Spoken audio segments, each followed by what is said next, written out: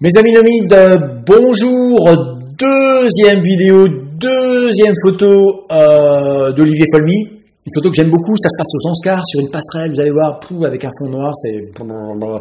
Allez, on y va, on envoie, toc là, voilà, hop, hop, c'est pas compliqué, et toc, on envoie, et c'est parti.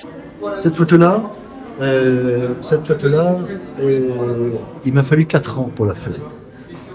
Oui, mais moi, j'aime ça. J'aime me battre pour une image. J'aime m'impliquer.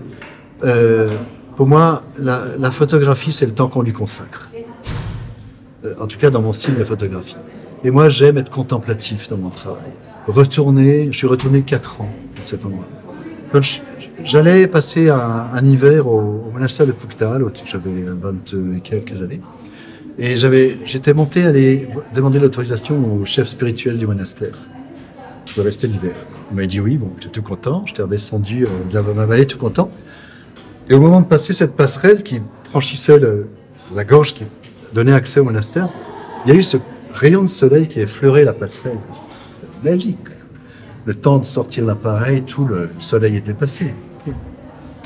Je suis retourné l'année d'après, euh, en juillet. Là, on était en septembre, je suis retourné en juillet, et pour faire ma photo. Sauf qu'en juillet, l'inclinaison du soleil, c'est pas la même. Donc, euh, le soleil, il n'arrivait pas au fond de la gorge, donc pas de photo.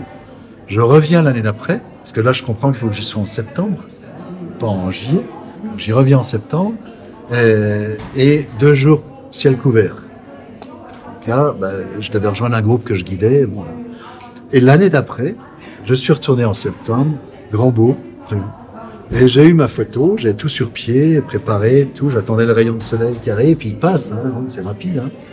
Et qu'est-ce que j'aime dans cette image C'est l'implication. Oui, j'ai aimé, je me suis battu pour cette image, donc je l'aimais déjà cette image.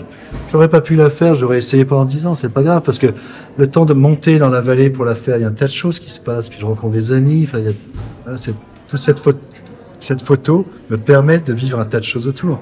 Et ça, tout d'un coup, quand j'ai voulu appuyer sur le déclencheur, tout d'un coup, il y a eu ce moine que je n'ai pas vu venir, hein, qui est passé il était en train de réparer la passerelle pour poser des pierres sur les branchages qui se cassaient. Et, là, ce moine, je lui ai pas demandé de passer.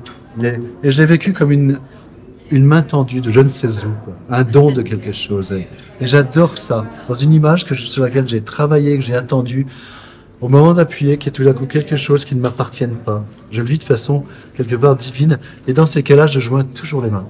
Parce que je sais pas qui je remercie, je sais pas quoi, mais je remercie la grâce. Quoi. Mes amis nomides, au revoir. N'oubliez pas de vous abonner. À la prochaine vidéo. Ciao